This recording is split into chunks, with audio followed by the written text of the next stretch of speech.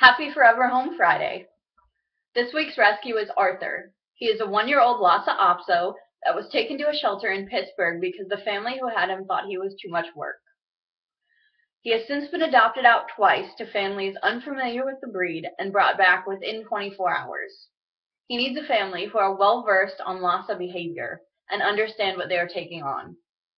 Arthur loves to play with his toys and knows lots of commands, including the one where you point a finger at him and say bang and he plays dead. He's adoptable through the American Lhasa Apso Club Rescue out of Pittsburgh, Pennsylvania.